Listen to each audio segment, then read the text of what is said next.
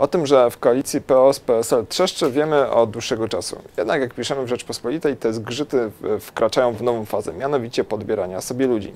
E, chodzi o to, że w kierownictwie PSL powstał plan, by na listach wyborczych tej partii wystawić polityków Platformy, a mianowicie takich polityków, którzy na swoich listach z różnych względów nie mogą liczyć na wysokie miejsca, e, które mogą im zapewnić mandat. Chodzi m.in. o Sławomira Nitrasa albo Pawła Zalewskiego. Dlaczego ludowcy chcą ich wystawić? No, nie ukrywają, że dzięki temu chcą przekroczyć próg wyborczy. Można jednak postawić pytanie, a gdzie w tym wszystkim dobro koalicji? Okazuje się chyba, że nie ma ono tu większego znaczenia.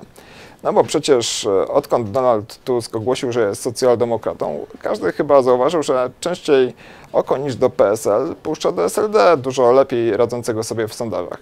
Jednak by nawet do takiej koalicji doszło, Platforma musi zrobić dobry wynik w wyborach do parlamentu, a jak na razie niewiele na to wskazuje.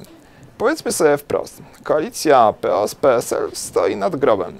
I e, dbanie jej dobro nie ma chyba dla, z punktu widzenia ludowców większego sensu, kiedy ich partia balansuje nad progiem.